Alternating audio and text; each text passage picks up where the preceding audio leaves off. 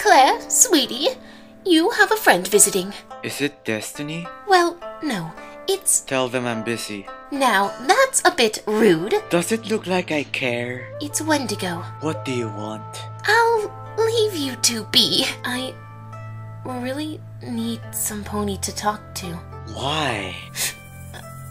I'm going through a really bad time right now. You're a mess. Why are you so emotional? W- Well, Is it like that time of the month or something? Because you look like my sister right now. what? No! Then what is it? Well, me and Destiny, we broke up. Well, I'm shocked. You're being ironic. No, no, I'm not. I am truly shocked. Eclair, this really isn't the time to crack your little offensive jokes.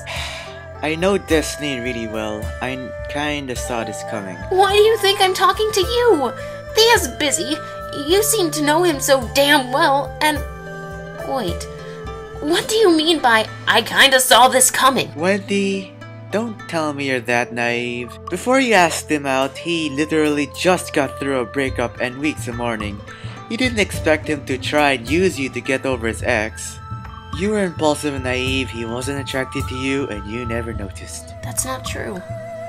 We did a couple of things.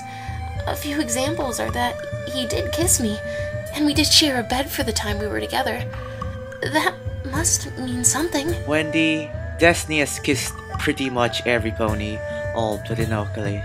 Except for his boyfriend. Here's my example. He kissed Thea. They've even shared a bed. You really think that meant something? No. No. Then? I'm so stupid!